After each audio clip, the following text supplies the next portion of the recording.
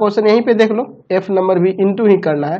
M plus में सोलह into में एम प्लस थ्री चलिए, इस एम में एम प्लस थ्री से इंटू करेंगे तो एम स्क्वायर प्लस में थ्री एम और इस प्लस सोलह में इन दोनों से इंटू करेंगे तो सोलह एम प्लस में सोलह तिया अड़तालीस। यानी कि एम स्क्वायर प्लस में उन्नीस एम और प्लस में अड़तालीस। यही वहाँ पे भर देंगे। चलते अगले क्वेश्चन पे। चलिए जी